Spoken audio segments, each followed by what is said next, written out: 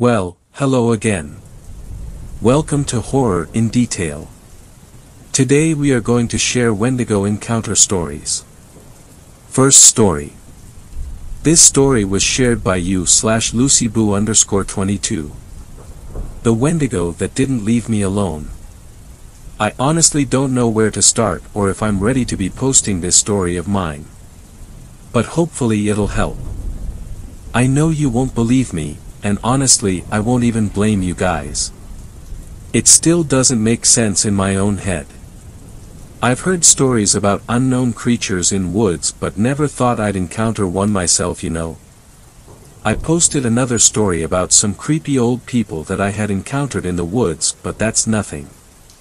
This makes a good horror story for people but it eats me every day. But here we go. I love to go hiking. I go with my three-year-old German Shepherd, and let her go unleashed since we like to go to secluded places. Now I have been hiking all over Utah mountains, and wanted a new hike that wasn't too far from me. I have an app that tells me about hikes near me, if it is a hard hike, reviews and if it's dog friendly. Now I was scrolling through all trail looking for possibly something new but I wasn't too hopeful. But to my delight, there was something new. I don't know why I don't remember the name of it, but I do remember it was at the bottom of the list and it had one review saying, good, I thought that was kind of strange, mostly because people love to review hikes and try to tell the city what they can do to improve the hike and make it more safe, but I figured it wasn't a popular hike. So the next day Kyrie and I packed up our stuff and went up towards the hike. I always carry first aid kit, extra food, a knife and just emergency stuff in case I get lost. It's important to mention now that Kyrie eats a raw diet. Meaning she eats raw meat not cooked, and since we were going so early in the morning I thought I could bring some with us. I put it in her blue backpack I make her wear and decided when it was getting warmer we would stop to eat. Where I live, there's a long drive through the canyon and many roads going towards the hike you'd like to go on. This one was a little further than I'm used to but I didn't care it was new and I was excited so was Kyrie. She cries in the car until we get there. Now I was following the directions on my phone and saw that it had lead me towards a thin road that was hidden. No wonder I haven't heard of this place, it was hidden and far up the mountain. The road only fit one car so the whole time I was so anxious that another car would come down, and how I would handle that but there never was. I never saw another car. When I got to the parking lot, if I could call it that, I noticed there was only space for like three cars. All in a tight space. It was small, so I decided to park my car with the front facing towards the road. I thought maybe it was private property, checked the app but it didn't say anything about private property. I shrugged it off, got Kyrie out, prepared us and saw the trail. Now even though I knew there wasn't anyone parked there, I kept Kyrie on a leash. I didn't know if there were bikers along the trail, but after 30 minutes or so I didn't see anyone I decided to let her off leash. It was a steep hike for the first half, but it was beautiful. We were deep in the woods, and I felt at peace. I used to wear headphones when I hiked but didn't anymore so I was enjoying the natural sounds of the forest. It was still early in the morning so I wore a light jacket and decided when it got warmer I'd give Kyrie her breakfast. Now before you start to hate, I know. I know bringing Kyrie's raw meat was absolutely stupid and ignorant of me. I had never seen a bear or wolf or anything so I got cocky and just thought it was okay. I learned my lesson the bad day, so no need to tell me I was dumb. But honestly I wouldn't blame you if you commented that. Now here is where we begin the bad part of this story. The trail finally stopped being steep and sort of an easy hike from here. When you got to the top, you could see through the trees a beautiful open meadow. On the other side of it, you can hear a river and a waterfall. The trail went around the meadow. The meadow was absolutely beautiful with the mountains in the background, the sound of the water. This hike was almost the most beautiful one I had ever been to. When Kyrie and I were sort of in the center of the meadow, she stopped right in front of me and looked towards the meadow. Kyrie always walked ahead of me and when she stopped I stopped since I trusted her judgment. Before I could look, the smell hit me first. You know the typical rotting smell but oh my god. Words cannot explain how bad it stank. It burned my nose, and started to make me tear up. I put my shirt over my nose, feeling nauseous and looked over to where Kyrie was looking. In the middle of the meadow was a deer. Now I've only seen does but never a male deer in person. But his antlers were huge. Have you ever seen Princess Mononoke? When he sees the deer spirit walking across the water, and how big his antlers were. Almost like that. The beauty of the deer was amazing but not enough to take away the disgusting smell that was making me sick. The deer was looking towards the mountains and away from me.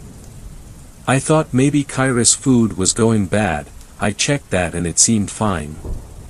When I looked up again, the deer was looking towards our direction. I noticed that Kyrie's hackles went up at that, she started to cry nervously. Now I've heard of Wendigos and skinwalkers, I am Native American it is common for these creatures to be in our childhood stories. That and also listening to scary stories on YouTube. Now when Kyrie did that, I got a bad feeling in my stomach despite the sickness. It was a Wendigo and I knew that, now I didn't know what to do. These creatures were only a part of my stories to make me go to bed, not to instructions of what to do. Plus my grandmother was the one with the stories and passed away. She was the one with the experience not my mom or anyone else. I glanced at Kyrie again when she cried, and looked back towards the creature. It started to stand on its hind legs. Holy hell it was fucking tall, and it faced my direction. It started to walk towards me, I was going to run until I heard in my head. I am the one of this land. Suddenly it started to run towards me, full speed. I screamed, called Kyrie and started to run. Kyrie was following behind me.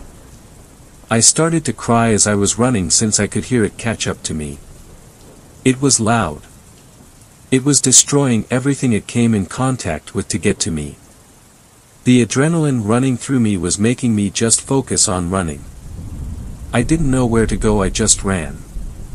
The trail suddenly got smaller and bushes with thorns started to appear but I didn't feel them as they cut my arms. As I heard it got closer, it suddenly went to the left as I ran straight. I somehow had the balls to look back to see it was gone, but also Kyrie. Kyrie. I said but right as I called out for her, the trail ended with a foot drop onto a patch of rocks. I hit my head, bleeding a bit. But again I couldn't feel it that much and just got up. I looked towards the forest when I suddenly heard a loud cry from my right. It was Kyrie. Kyrie. I cried out. I stood up, crying and lost at what to do. I looked back to see a river leading up to the waterfall I heard. Suddenly a heavy weight ran into me and we both fell back. I hit my head again on the back and looked up to see Kyrie. Kyrie had blood all over her. It was pouring from her neck. Kyrie. I cried out. She was whimpering, and breathing heavy. She still had her backpack on with some cuts in it.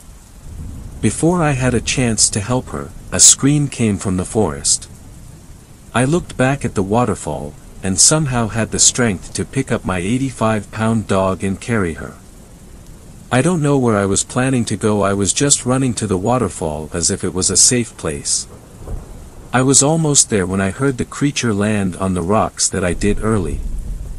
I tripped at that and looked back to see it looking at me.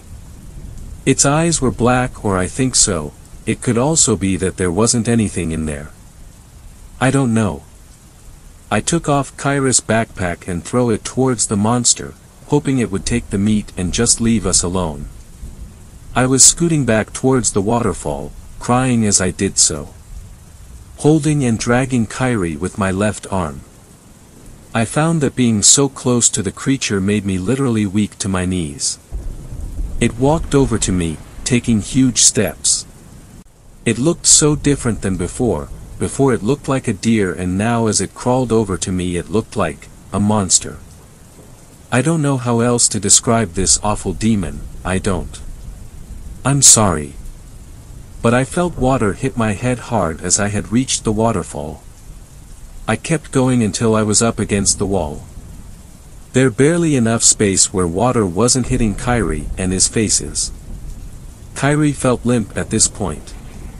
I could somewhat see the creature through the water, but still saw it coming towards me. It stood on its hind legs when it was close enough to me, watching me. The smell was so disgusting, I couldn't help but throw up in my mouth. It reached his arms out to grab me, I screamed so loud. I actually lost my voice.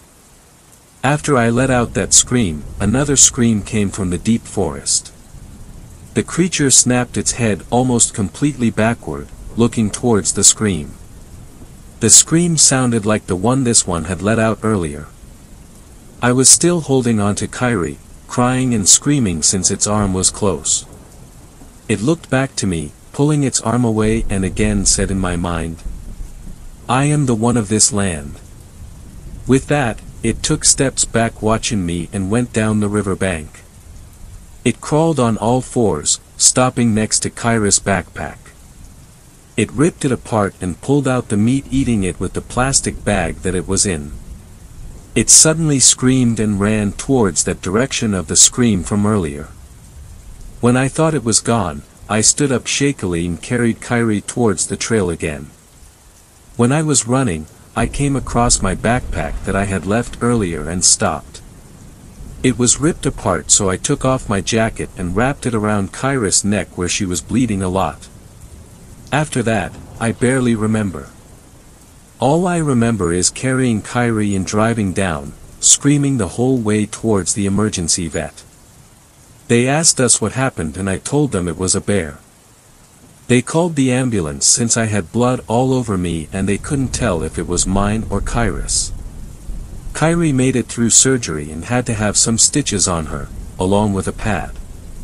It didn't really heal and a huge bump grew on there. It had been infected but eventually got better. She also had a bite mark on the top of her left eye, but that healed much better. They pulled out a 4-inch tooth, I don't have it because I couldn't even look at it but they declared it from a bear. Even though they said it looked weird. While I was waiting for Kyrie I went to look up the trail on the app, and it was gone. Id why or how but it is. I don't remember where it is either. That's all a blur. I have some pictures up of Kyrie. The one with my niece is a hike my mom took her on with my niece. It had been weeks after and my mom thought to try and help her through it. Kyrie looks nervous in the picture but you can see the huge bump on the left side of her neck. There's also a picture with Kyrie and her bandages around her neck. And the one that is the most recent of her neck, it's black. The stitches came out. The last picture is of the top of her head, also black, but it's healed now.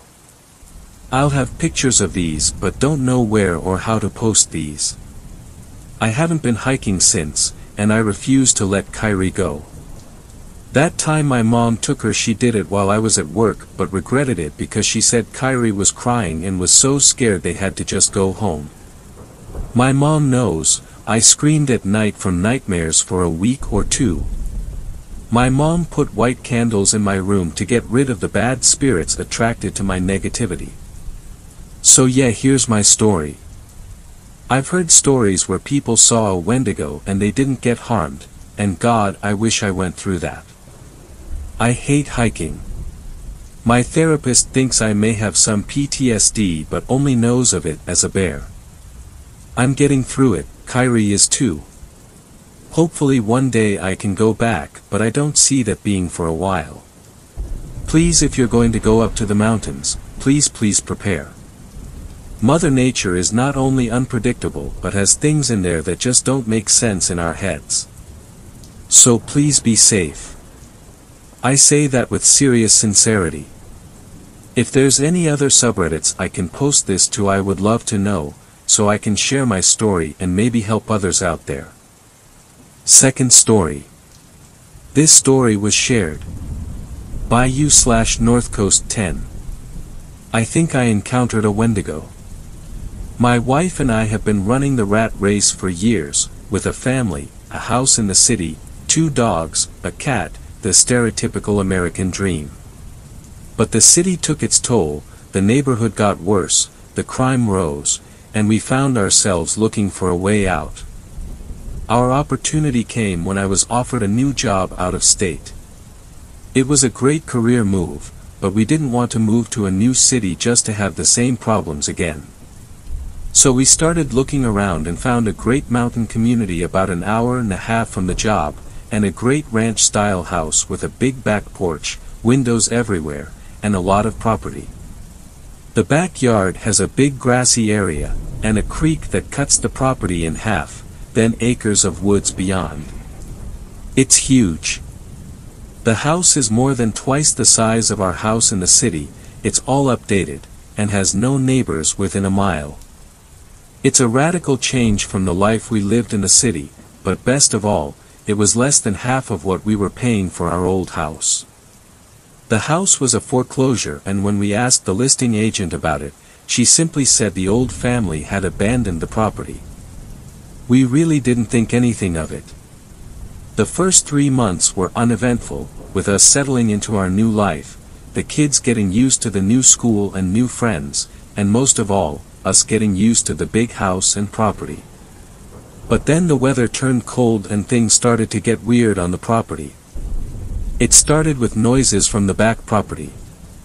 Things we chalked up to being in the woods, then the motion lights around the house started going off randomly. Once again we just chalked it up to being in the woods. But last night, it all changed. Last night was the most terrifying night of my life. One of the dogs was at the back door whining and scratching. I assumed he needed to go to the bathroom so I grabbed my flashlight and walked out the back door. Instantly something felt off. The dog bolted for the back property, growling and snarling. It was a cold night, about 30 degrees, but the dog plunged straight into the creek and out the other bank, running off into the woods in the back of the property. Flashlight bouncing, I ran after him, calling his name. I got to the creek and made my way across the makeshift bridge trying desperately to follow him.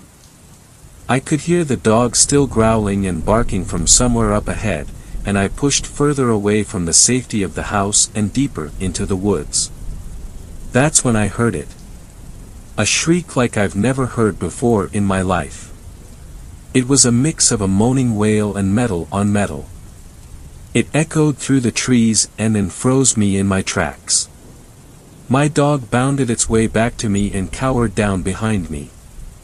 I turned around and could just make out the warm glow of the house behind me, and the cold dark ahead of me. I swung my flashlight around wildly looking for the source of the noise. And that's when I heard an even more terrifying noise. Out of the cold silence, my wife's voice floated all around me. Babe, the voice called out. I whipped back around and could just barely make out the image of my wife, safely inside our house. The voice called out again. Babe I'm right here, came the voice from deeper into the woods. Then came another voice, just as clear as the other. It was my dad's voice. Come out here, it called. I swung the flashlight around again and this time caught the briefest glint of light bouncing off of eyes. The creature was in my beam of light for barely a second, but it was tall, maybe six feet, and ashen white. It had long spindly fingers that grasped the trunk of a pine tree, and then it was gone. I turned back and ran towards the house. I ran headlong into the icy creek and stumbled. My dog ran past me, making it back to the yard and up to the porch. I dug my hands into the freezing, muddy bank and pulled myself out, not stopping to look back. When I reached the porch I scrambled inside. My wife ran over to me, asking what had happened. I just shook my head. I'm not certain myself what happened. I had a growing sense of dread tonight as the sun began to fall. We kept the dogs inside, and I haven't dared to look out the back. But as I sit here typing, one by one, my motion lights in the backyard keep going on. Third story. This story was shared by you slash dark karma underscore 1994. Central Michigan Camping Horror. I have always loved camping. There is something about being out in a tent away from electronics and everyday life that gives me a sort of reminder that I'm not totally dependent on civilization and phones to survive. I know that not bringing my phone is where I made my biggest mistake but hey. It's Michigan. We don't have scary predators here that cause me to worry and I knew these particular woods very well. Never experienced anything bad before so I figured it was as safe of a place to be. It was my younger brother Todd, my sister Amy and her husband Don and me. All of us agreed no phones just tents, beer and a relaxing time away from life. Well I thought it was going to be relaxing, you can choose to believe what you will but this did happen and my life is never going to be the same. We all rode together in my sister's van and parked at the site we used to party at as teenagers. Even camped here a few times but had about five more people with us. Ugh. The spider spot, really? Amy complained. When we first found this spot years before there was an old stump that was littered with wolf spiders. We burned it to the ground after waking up to big nasty spiders all over us after a night of drinking. So we named it the spider spot. Come on that stump's gone, besides it's only a quarter mile walk and my feet have been killing me from work. Todd sighed. We all grabbed our shit and started walking the 10 to 15 minute walk, looking forward to the fire and of course, beer. The worst part of the walk was the damn broken branches that seemed to jump out just to stab your face and break off. After we finally got there we did the usual setting tents up and grabbed firewood so the rest of the night would be filled with beer, laughter then bed after about 25 creepy nighttime pissing trips. It must have been around 1.30 am when things started getting weird. Hey did you guys hear that? Don asked shushing everyone. We sat quietly and after a few seconds heard the unmistakable sound of laughter. Just some other campers man, probably doing the same thing we are. I answered with a laugh. Without warning Todd shouted loudly to the people. Got any more beer? We all laughed and shushed him. We were having a blast and didn't think anything of it. Then we heard running. What the hell Todd you pissed them off.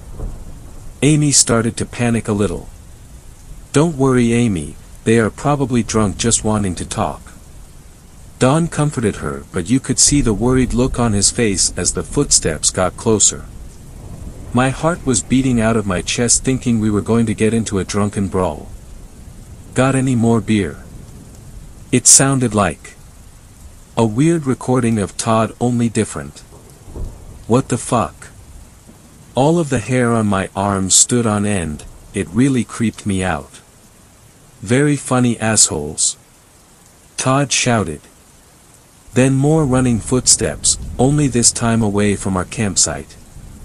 Must be drunk teenagers messing with us. Amy breathed a sigh of relief.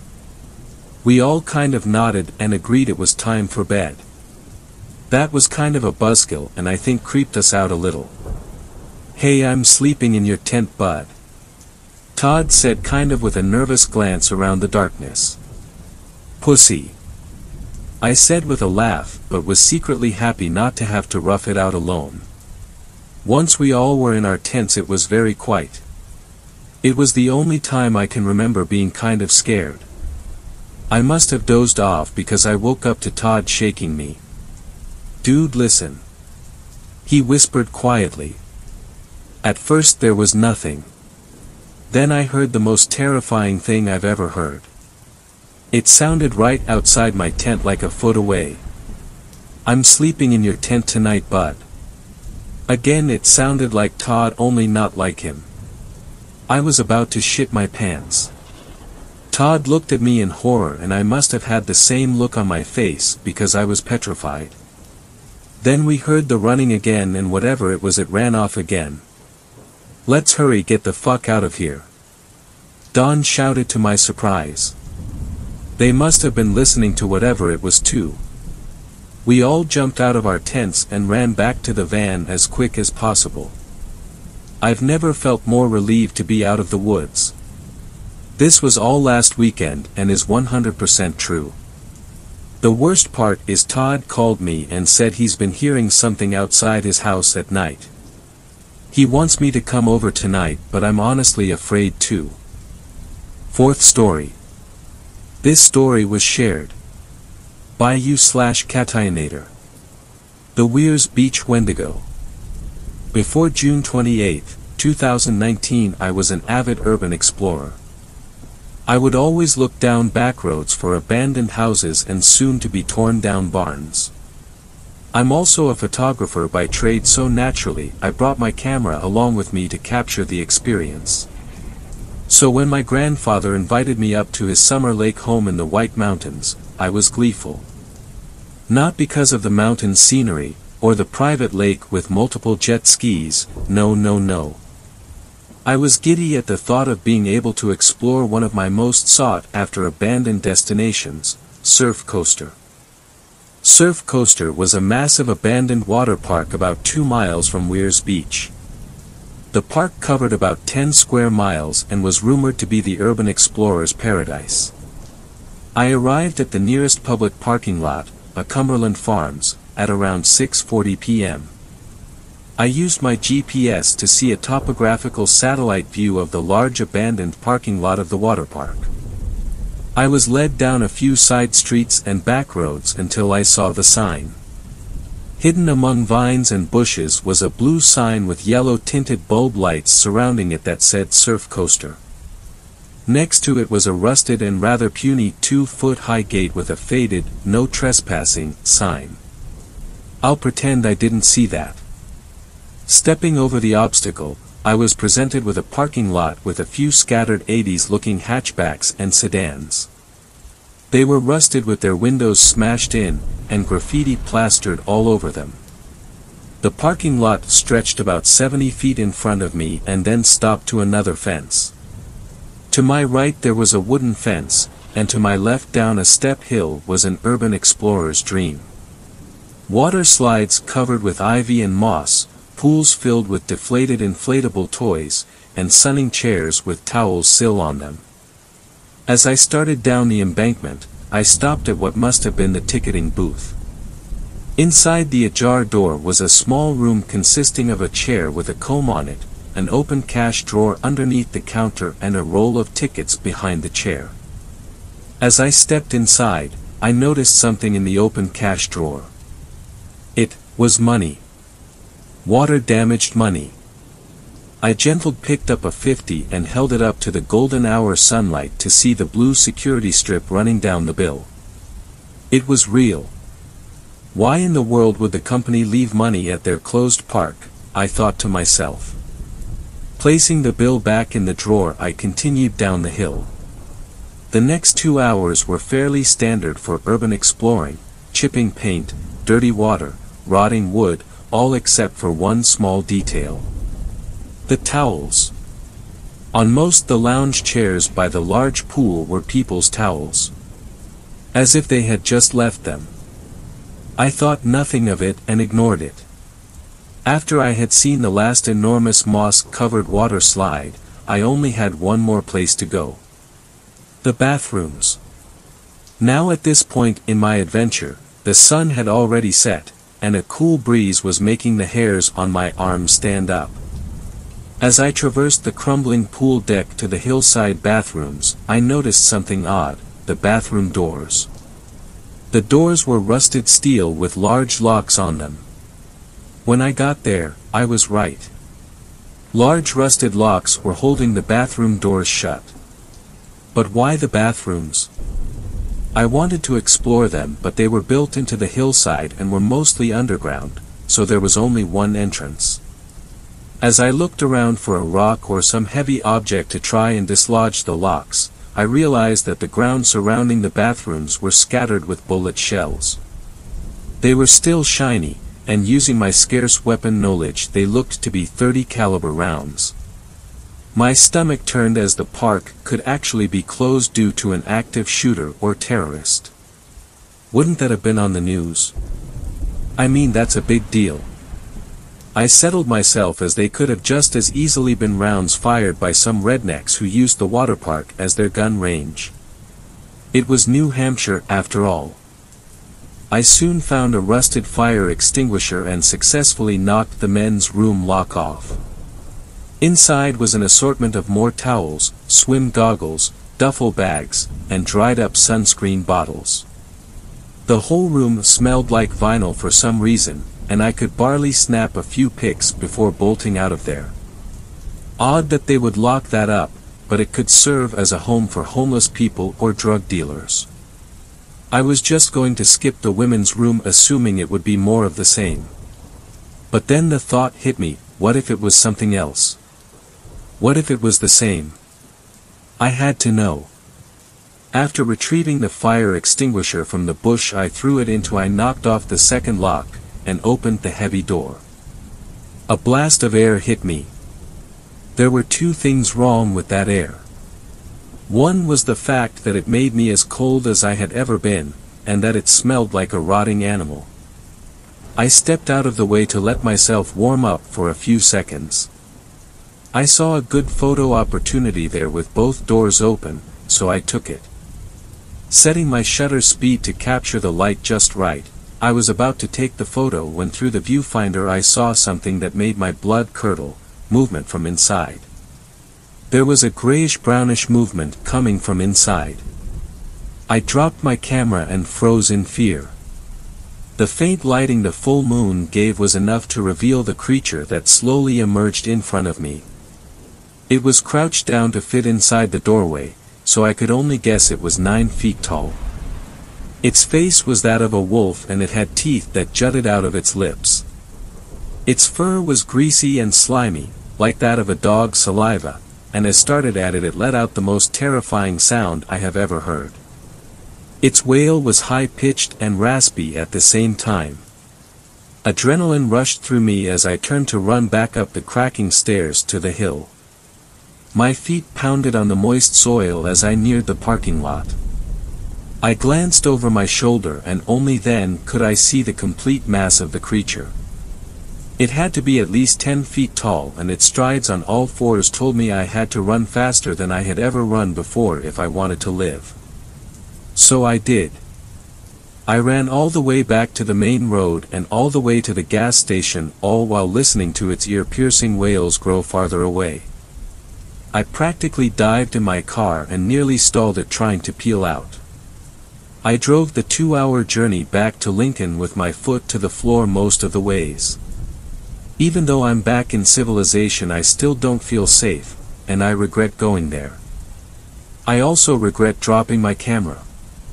So if anyone wants a Canon 1DX, check the abandoned bathrooms at Surf Coaster, but beware of the Weirs Beach Wendigo. Fifth story. This story was shared by you slash radical underscore vegan. The Wendigo story.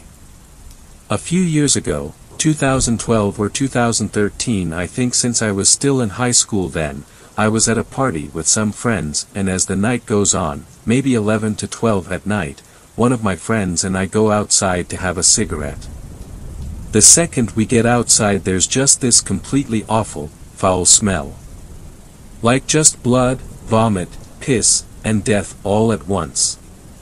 Now this was somewhat the middle of nowhere so we just figured it was a dead animal and went on with having that cigarette. Less than a minute later we hear something moving in the dark and sure enough, a deer comes hobbling into the very edge of the porch light. So we just mention, ah how cute, and the like. But then I noticed something, one of its front legs was messed up in some way. And I'm talking like broken in multiple places messed up. So my friend and I are slightly off put by this, less than we should have been since drunk, and finish up our cig and go to head inside. However, right as we start to do that, one of the two porch lights goes pop and goes out. So now it's less light outside and this deer is back into the darkness. So, a bit giddily, we both do this like fake scared squeal at each other and turn around to go inside. And that's when we heard it. That undeniable sound of nails on the concrete patio. We both slowly turn around to see this hunched over, rotten coyote doing this very slow, very unnatural crawl towards us. We go from zero, 600 paralyzed with fear almost instantly until another one of our friends playfully pulls us through the open door telling us to get back to the party. To this day, I have not experienced anything like that and it's one of the most horrifying things I've ever experienced. Sixth story. This story was shared by you slash Carl B 1961. I got a job working as a cemetery night watchman. I barely survived one night. In the spring of 2003 I graduated high school and had a scholarship lined up at a nearby community college. I decided to get a summer job in order to make some extra money before I started my freshman year that fall. As it happened, a friend of my dad's worked as a caretaker at a local cemetery but was taking a couple months off in order to recuperate from some back surgery he had scheduled soon. Duke, my dad's friend, told me his son Brian, who was about my age, had already volunteered to fill in as the temporary daytime caretaker, but, if I was interested, he had another job I might be interested in. I asked him what it was. He told me. Night watchman.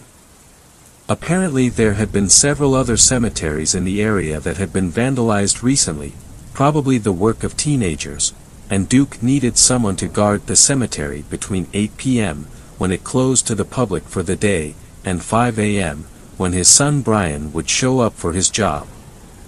Duke told me it wasn't an official county position, but he was willing to pay me out of his own pocket to do it. I was a little hesitant at first to accept the job. I'm not someone who spooks very easily, but the thought of being alone in a deserted cemetery at night for nine hours did kind of give me the creeps.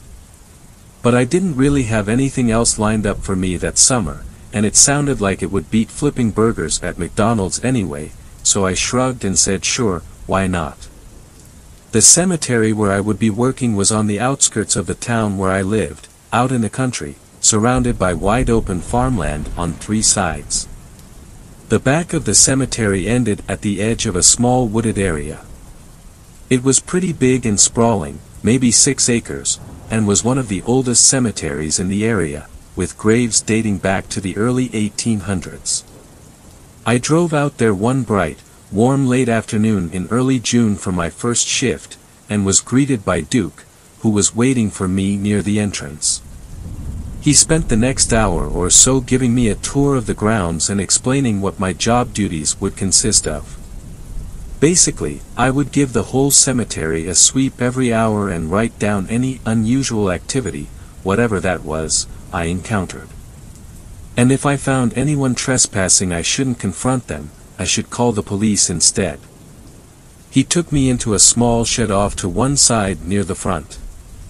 The place was crammed with tools and gardening equipment.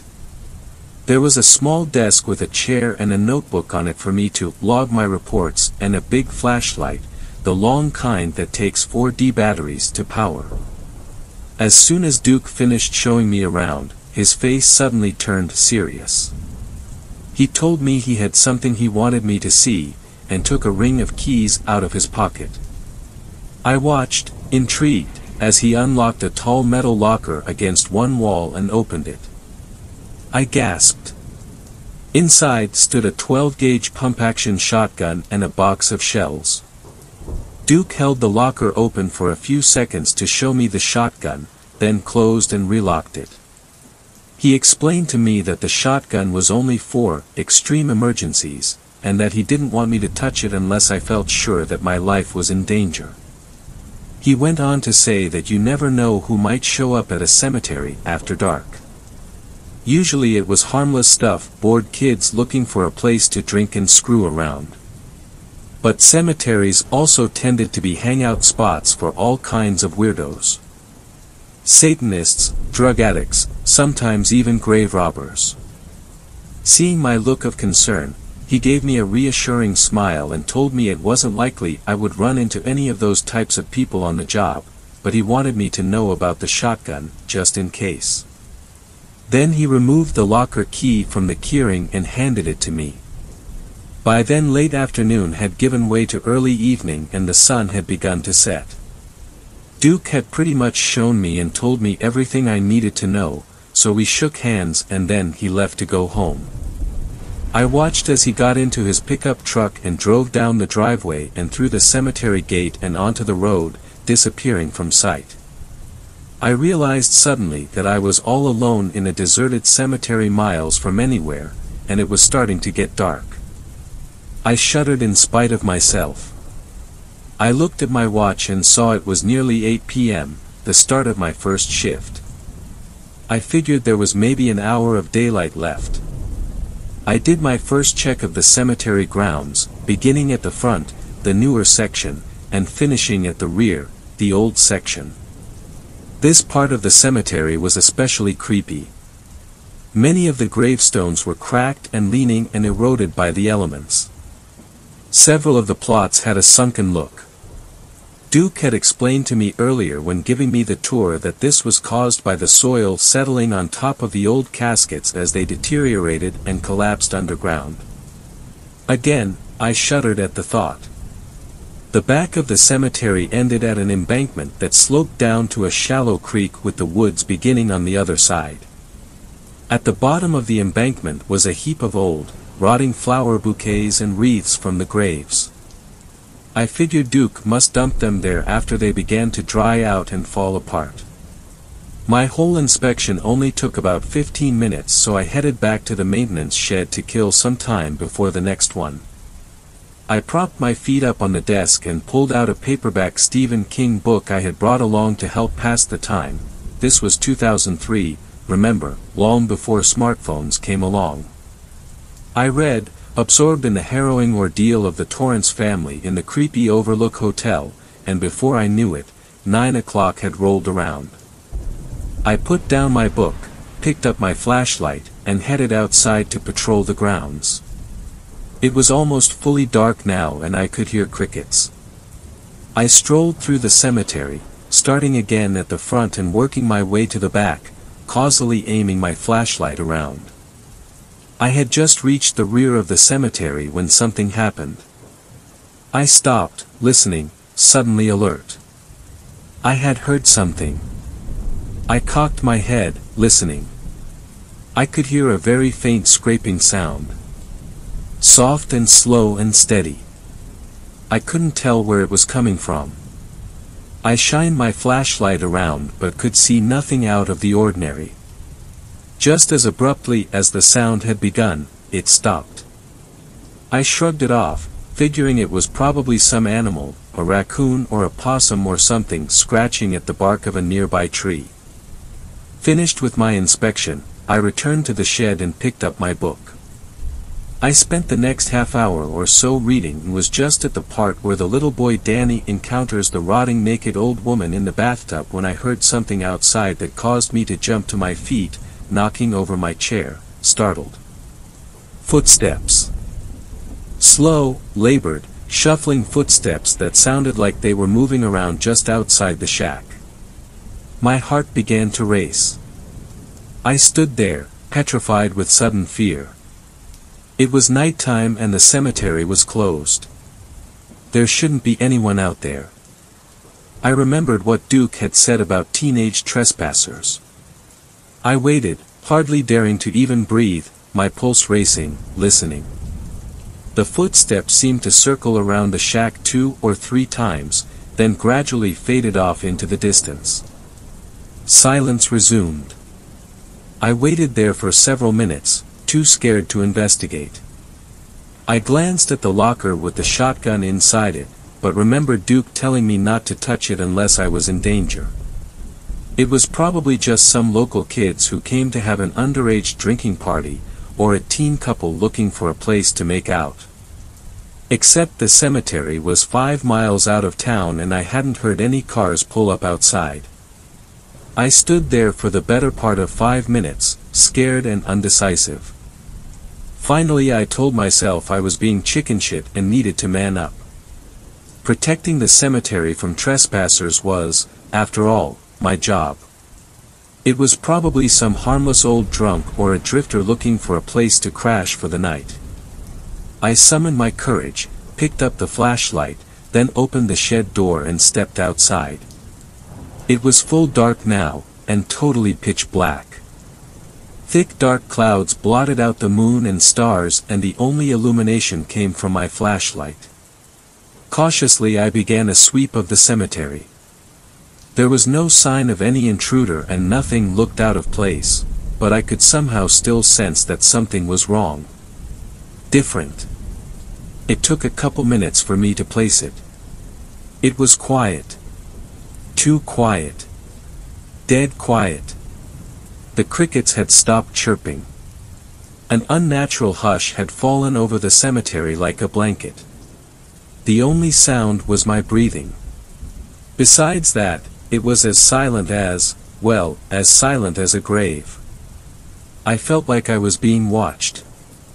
I had read that cliched expression in a thousand bad horror stories and never believed it before then, but at that moment, alone in the dark in the middle of the night, in that unnaturally silent cemetery, I did. It seemed like I could sense a dozen sets of predatory eyes boring into me, observing my every move, so strong it was almost a physical sensation. I was scared shitless. I stopped in my tracks abruptly, tensing, cocking my head. I had heard something. What was it? I listened. Faintly, I could that same soft, persistent scraping sound from before. I looked around, trying to pinpoint its location and source. It seemed to be coming from directly ahead of me and to my right. I cautiously moved on, tracking the sound, which seemed to get slightly louder the closer I got. I was in the newer section of the cemetery, the part still in use. I stopped in front of a new grave where the sound seemed to be at its loudest. I trained my flashlight upon the marble headstone. It belonged to an elderly woman who had died only a couple weeks before. The mound of soil in front of the headstone was still brown and bare of grass from her recent burial.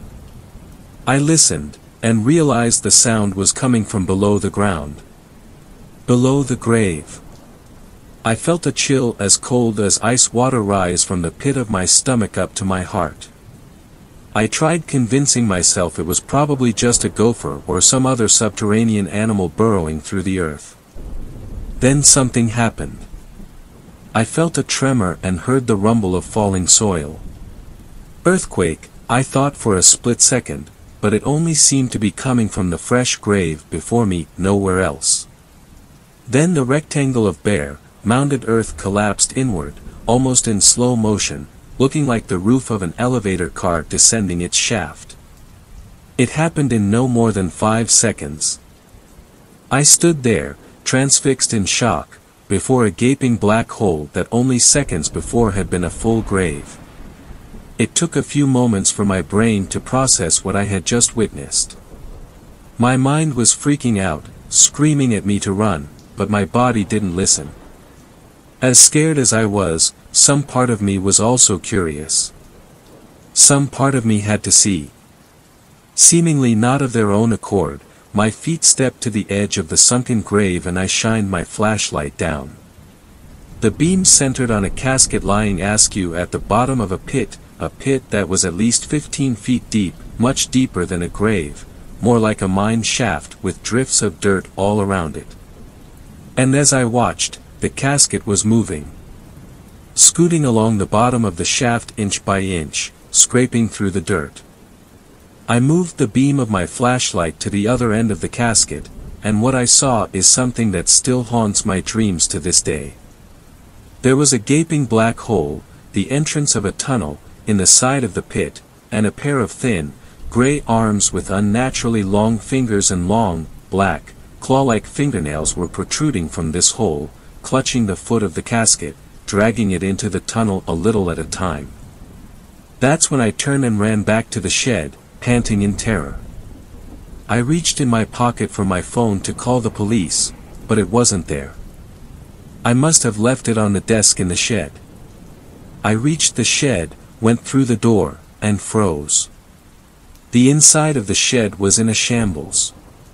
Everything had been trashed. Tools were scattered across the floor, the desk and chair had been turned over, my paperback had been torn to shreds, and my cell phone had been smashed to pieces. Someone had been in the shed while I'd been outside, or something. I stood there, taking in the destruction, then I heard a sound coming from behind me. The same shuffling footsteps I had heard before. I spun around. I seemed to regress in age in a matter of a few seconds, reduced to the surreal, almost wondrous state of terror of a child in the grip of a nightmare. A figure stood in front of the doorway, only a few feet outside the shed. It was cast in shadow, only a silhouette, but I could see it was tall and thin, with unnaturally long, skinny arms that hung down nearly to its feet. Its eyes were red. I could see them glinting in the dark, like embers. They were staring right at me. We stood there for what felt like eternity, regarding each other, then the shadowy figure took a step towards the door. I darted forward, slammed the door and turned the lock. There was an unnaturally high-pitched, chittering screech from outside, a sound more animal-like than human. The creature began to pound wildly against the shed door. I jumped as something else slammed against the rear wall of the shed. I could hear claws scratching against the wood as if something was trying to burrow through the wall. Something else slammed into the side of the shed. There were more than one of them, and they were all trying to break into the shed at the same time. Trying to break in and get me. That was when I remembered the shotgun. I looked to the metal locker, still upright but now leaning askew against one corner. I frantically searched the pockets of my jeans until I found the key Duke had given me. With shaking hands I unlocked the locker and grabbed the shotgun, hoping it was loaded, I had never touched a gun in my life and had no idea how to load one, and there wasn't enough time anyway. I fumbled with it inexpertly for a few seconds until I figured out how to get the safety off. The banging and screeching was coming from all around me. It sounded like the shed was surrounded on all four sides. I pumped the shotgun like I'd see it done in the movies, then aimed it in my shaking hands at the door, clenched my teeth, and pulled the trigger. The explosion was louder than I ever would have imagined, and the kickback was so powerful it almost knocked me backwards. The next morning I would find an ugly bruise on my right shoulder where the stock of the shotgun had struck me. A ragged hole the size of a fist materialized in the door. For a split second after I fired the shotgun I thought I detected a high-pitched shriek of pain outside the shed door. Then I couldn't hear anything but a ringing in my ears. For a few seconds I feared I had gone deaf from the blast. Then slowly my hearing returned. I knew because I could hear my own ragged breathing. Otherwise, there was silence. The screeching and banging had ceased. I listened intently, my heart pounding, but heard nothing. Then cautiously, still clutching the shotgun, I crept to the battered shed door, unlocked it and threw it open, leveling the shotgun. There was nothing there but blackness. I fled the shed, running in an all-out sprint to my car, leaped in, locked the doors, started the engine and took off, slamming down the gas pedal. I sped down the driveway, my tires shrieking and sending gravel flying. I shot through the gate, then turned onto the highway back to town. But just before I drove through the gate, I saw, or thought I saw, one last thing in my rearview mirror. Several pairs of glowing red eyes in the darkness behind my car. My phone had been destroyed, so I drove to the sheriff's office when I reached town and told them I had been attacked by grave robbers. I was scared and badly shaken, but still possessed enough sense to know they wouldn't believe me if I told them what I had really encountered in the cemetery. After I gave my statement they called my parents who came and picked me up since I was still pretty rattled. My mom drove me home in their car while my dad followed behind us in mine. I went straight up to my room after we got back and fell into bed, but it was several hours before I managed to fall asleep. The state police came by the next day to ask me some questions and I told them the same story I had told the sheriff and his deputy, I had been doing my hourly inspection of the grounds and surprised a couple grave robbers who had chased me back to the shed and tried breaking in before I had scared them away with the shotgun Duke had showed me. I hadn't gotten a good look at their faces and couldn't even tell exactly how many there had been. The police didn't seem very satisfied with my answers and looked suspicious, I think they could sense I was holding something back, but they didn't press the matter and left soon after. A couple days later Duke stopped by the house to see how I was doing. I told him I was okay, but after my experience I probably wouldn't be coming back to work. He seemed to understand and was apologetic about what had happened. He paid me $60 in cash for my single disastrous shift as a cemetery watchman. I noticed that something else seemed to be bothering him. He had a troubled frown on his face and seemed disturbed, maybe even a little scared. I asked him how the police investigation at the cemetery was going, there had been a brief story about in on the local TV news, and if they had found any clues, but he just shrugged and said that so far there wasn't much to go on. Somehow I could sense he was lying. His answer seemed evasive and I got the feeling he knew more than he was letting on. He left, and that was the last time I ever spoke to him. It took over a week for me to get over my ordeal, but then I was pretty much back to normal. I got a job working part-time at Blockbuster Video, back when that was a thing, for the rest of the summer, and started college that fall. After I graduated in 2007, I got a job in the city, found a decent apartment, married, and had two kids. It's been 18 years since that night, and I had mostly put it behind me and forgotten about it, except for the occasional bad dream. Then, last month, something happened. I had taken my family to the rural town where I grew up to visit my parents for the weekend.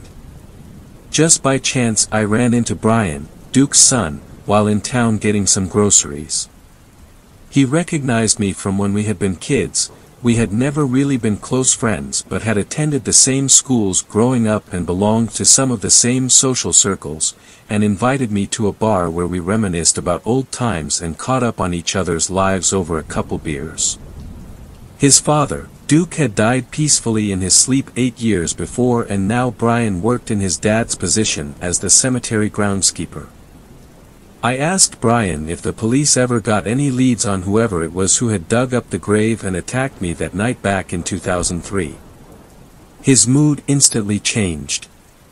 His face darkened and became guarded. He was silent for some time and seemed to be debating in his head what he should tell me. Finally he leaned in close to me and made me promise I would never tell anyone what he was about to tell me. I promised. Brian explained that the police had inspected the open grave and discovered the tunnel I had seen at the bottom. They had investigated and discovered a whole network of underground tunnels running below the cemetery that looked to have been dug out by hand. Another tunnel entrance had been found partially concealed by undergrowth in the ditch at the bottom of the embankment in the rear of the cemetery. In the center of this subterranean tunnel system had been a large cavern that had been filled with splintered caskets, some dating back over a hundred years, and bones, and body parts, some still relatively fresh. The human remains had all shown signs of having been devoured. I felt a chill pass through my body. Brian finished off his beer with a hard swig and set the bottle down with a trembling hand. He went on to explain that after this gruesome discovery, the police had notified the FBI, who had shown up to investigate, and after the FBI came, another government agency had gotten involved. I asked him who but he just shook his head and told me they hadn't said. Only that their jurisdiction had superseded both the state police and the FBI. They had taken over the investigation, shut down the cemetery and had ordered everyone involved, including Duke, to stay silent with the, the threat of prosecution and imprisonment if they breathed a word of it to anyone. The cemetery had been closed for over a year while men in hazmat suits had collected the bodies in plastic bags and loaded them into unmarked black vans. Then one day they were just gone. They left without a word, seemingly overnight, leaving no trace behind. The underground tunnels had been filled in with dirt. After that, things had pretty much gone back to normal. Brian sat there quietly for a while. I thought he was finished, but then he added one final detail. The morning after my night in the cemetery, after the sheriff had looked around but before the state police had arrived to do a more thorough investigation, Brian and his dad had found something outside the shed the sheriff had overlooked. A small puddle of black liquid on the ground, outside the door I had fired the shotgun through. Duke had figured it was probably just spilt motor oil from a bottle in the shed and told Brian to clean it up, but Brian had noticed something his dad hadn't, a thin trail of the same black substance in the grass leading away from the shed, toward the embankment in the back of the cemetery. He had been curious and collected a small sample in a jar when his father wasn't looking and mailed it to an older cousin of his who worked as a technician in the anthropology department of a university across the state. A couple weeks later, Brian's cousin called him. They had analyzed the sample. They were able to determine it was blood, but the DNA sequence wasn't like anything they had ever seen before. They couldn't identify what the blood sample had come from, but whatever it was, it wasn't human. Seventh story. This story was shared by you slash Mornblade17. Encounter with a Wendigo-like creature. I had an experience several years ago that still causes me some manner of dread, so I thought I would ask other users if they have ever encountered the same creature, or anything similar. For reference, this was at my parents' old house in the Texas Hill Country, and during the summer. We had a few cats that lived at that house, and one of them was a calico who refused to stay inside most of the time. She would also take long walks with us.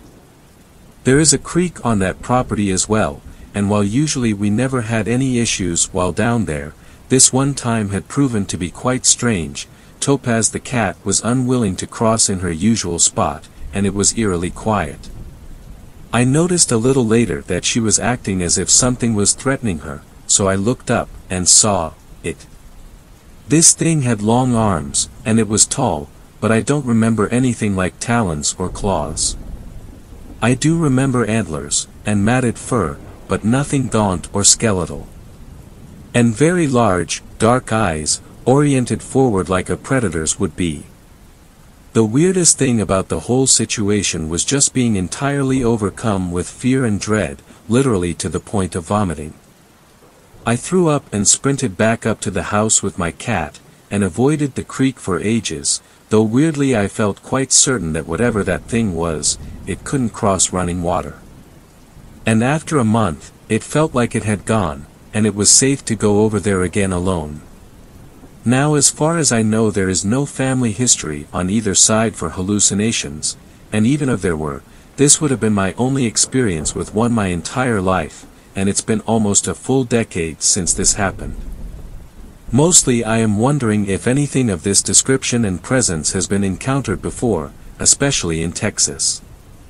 It has bothered me for quite a while, so I am quite curious about what others may make of it. Thanks. Thanks a lot for watching the video till the end, subscribe to our channel Horror in Detail. Drop your opinions slash suggestions in the comment section, and like the video as it helps with the YouTube algorithm.